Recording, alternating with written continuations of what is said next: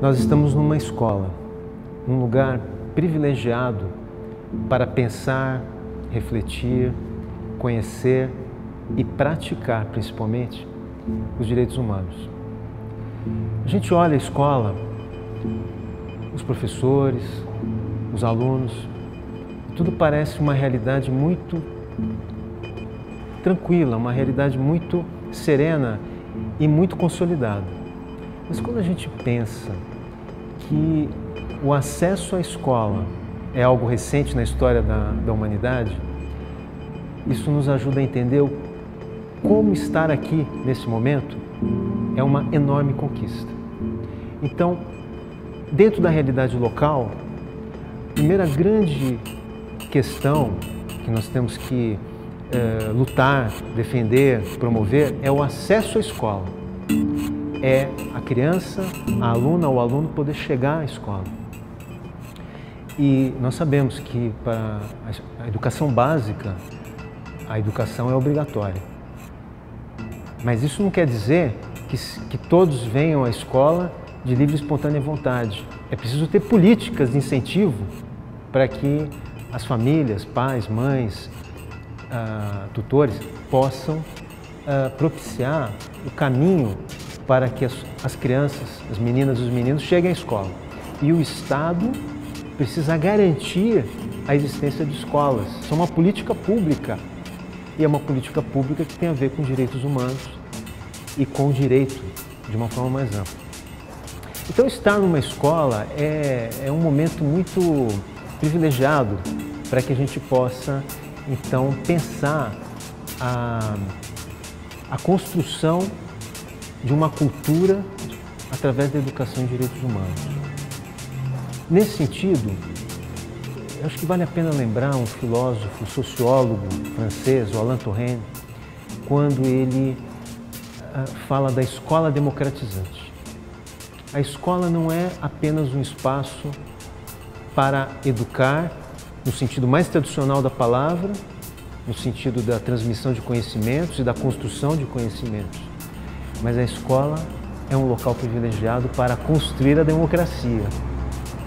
E nesse sentido, a educação em direitos humanos, ela é um vetor fundamental para fazer com que crianças, alunas e alunos possam emergir como cidadãs e cidadãos.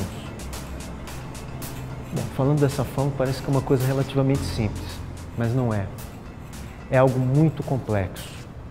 Envolve muitas habilidades, muitas capacidades. E envolve também a vontade e o compromisso de docentes, eh, de gestores da educação, de pais e mães de alunos e dos próprios alunos e alunas de realizar esse pacto democratizante para que a escola possa ajudar a gente ter um país democrático. E, naturalmente, quando a gente constrói um Estado democrático, nós estamos prevenindo guerras, conflito, violência, violência nas mais variadas maneiras, né? variadas formas. E aí eu acho que vale a pena nós pensarmos no papel do professor e da professora. Nesse, é, nesse, nessa tarefa tão importante tão essencial para a democracia. Eu acho que muitas vezes a professora ou o professor, no seu dia a dia, né, que muitas vezes pode ser muito maçante e também muito enriquecedor, ele não, se, ele não tem, ele ela não tem consciência do papel enorme que esse docente, essa professora, esse professor tem na estabilidade democrática do país, porque ali estão sendo construídos os cidadãos e as cidadãs.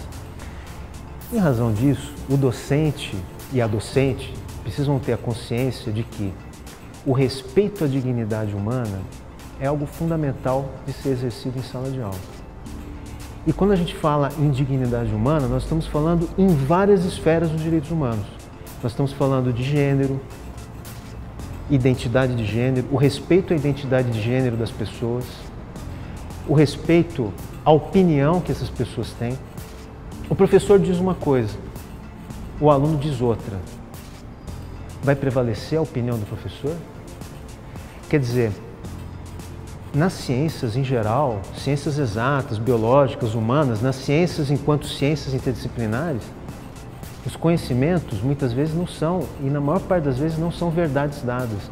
Existe tese, existe antítese. Muitas vezes o professor e a professora, eles vão mostrar uma determinada leitura da realidade que pode ser muito bem contestada por um aluno. O que seria o respeito à dignidade deste aluno? Ouvir o que ele tem a dizer, respeitar, contra-argumentar se for necessário, mas jamais censurar aquela fala. E isso nós sabemos que acontece. Acontece de boa fé e de má fé. Então, a prática do ensino, a prática da educação em direitos humanos pede respeito e respeito à dignidade da pessoa. E da pessoa nós estamos falando desse aluno, dessa aluna. A mesma coisa entre os professores. Os professores convivem, às vezes anos, décadas a fio.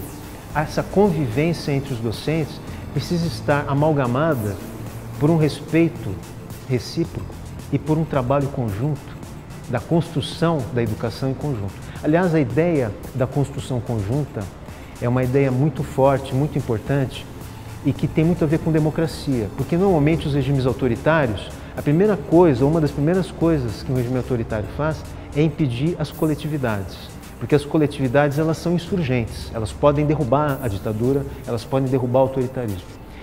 Infelizmente, nós ainda temos uma herança de individualismo que é reforçada até por, por, um sistema, muitas vezes, um sistema econômico, um sistema político, que não valoriza as coletividades, a coletividade de professores, a coletividade de alunos.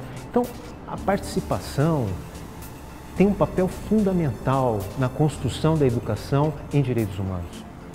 Quando a gente pensa, por exemplo, na hora em que o professor, a professora se reúnem com os gestores das escolas para criar conteúdos pedagógicos e esses conteúdos pedagógicos estejam eivados, estejam contaminados no bom sentido pela questão da educação e direitos humanos, essa construção ela só é compreensível se for coletiva.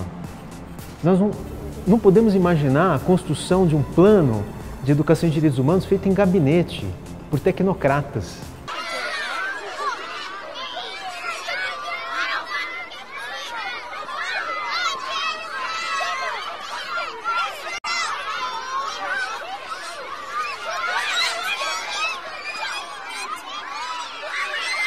A ideia de educação em direitos humanos dentro da escola é uma ideia que está estritamente associada à participação.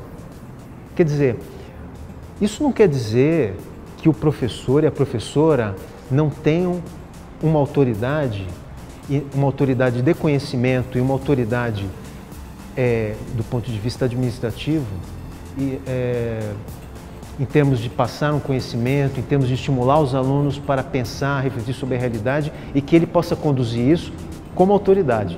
Não é isso do que nós estamos falando. O que nós estamos falando é de que a educação em direitos humanos, na perspectiva do professor, precisa levar em conta o respeito às diversidades. Então nós podemos colocar várias diversidades. O Brasil é um país muito diverso. Nós podemos falar de diversidade de gênero, podemos falar de diversidade étnico-racial. Quando nós falamos de diversidade étnico-racial, nós estamos falando de negros e negras, mas também estamos falando de indígenas. Talvez não seja a realidade do sul do país, do sudeste, mas em outras partes do Brasil, há indígenas em sala de aula. Quilombolas, nós temos a, os quilombolas no Brasil que constituem um grupo muito importante, garantido pela Constituição. O Brasil tem, muitos dizem que isso é uma dádiva, e de certa forma sim, uh, tem uma língua, o português, que nos conecta, né, podemos dizer, do arroio ao chuí. Isso é importante porque isso é, propicia que nos comuniquemos em qualquer parte do território nacional. Essa não é a realidade de muitos países. Por exemplo, o Canadá, por exemplo, a Espanha, por exemplo, vários países africanos onde há línguas, dialetos tribais. Então a diversidade linguística, diversidade linguística é uma realidade muito importante. No caso do Brasil, claro, indígenas são os mais digamos, beneficiados por esse direito né, às minoria, das minorias linguísticas. Mas também devemos falar das, uh, da diversidade religiosa. O Brasil é um país que está cada vez mais se tornando plurirreligioso. Nós estamos saindo de uh, praticamente décadas, séculos, né, de prevalência de uma religião, religião católica, para uma pluralidade de novas religiões, inclusive religiões uh, consideradas não ocidentais, como islamismo, budismo, que estão chegando. Nós, professores, os docentes, precisamos estar atentos a essa realidade da diversidade religiosa. E a escola é o local onde isso deve se manifestar. Então, o respeito à diversidade religiosa é fundamental, sobretudo porque no Brasil a escola é laica. Ou seja, a educação é uma política pública pautada pela laicidade do Estado. Claro que existem escolas religiosas, isso está permitido, e até interessante, bom que isso ocorra, mas do ponto de vista do exercício do direito ou dos direitos humanos, a, a diversidade religiosa está garantida. Nós podemos falar também dos estrangeiros. É uma realidade que cada vez mais o Brasil sente né? e que tem que enfrentar, e o melhor é enfrentar de acordo com a educação em direitos humanos. Você tem um, um colega sentado ao seu lado, ou uma colega que é de outra nacionalidade, isso é de uma riqueza ímpar. Né? É preciso ver dessa forma e não como um obstáculo. Né? E, sobretudo, o professor, a professora precisam ter uma atenção muito, é, digamos assim, uma sintonia fina com esses estrangeiros que muitas vezes têm dificuldade de se comunicar em sala de aula, que estão vindo de realidades muito duras, econômicas, políticas. Existem migrantes que não escolheram sair dos seus países, foram obrigados a sair dos seus países, como é o caso dos refugiados.